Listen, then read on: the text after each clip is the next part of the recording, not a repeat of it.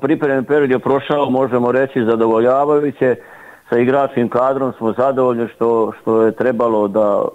da, da odradimo u dogovoru sa trenerom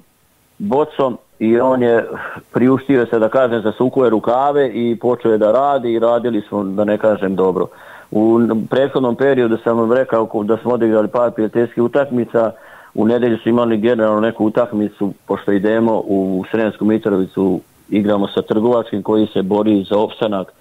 e, identični broj bodova imamo i mi i oni, pa će biti jedna dobra, mislim, prvenstvena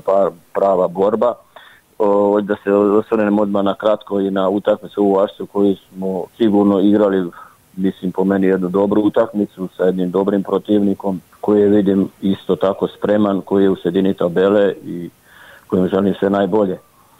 A što tiče Adaševaca, kažem, nama je prevashodno sada je taj cilj da, da, da se izborimo, da pobegnemo sa, sa začelja, da ne bi, da ne kažem, borili se baš ono grčevito za opstanak pošto je kažem identičan broj bodova i mi trgovački, pa se nadam jednom povodom, povodom rezultatu, to je jednoj dobroj igri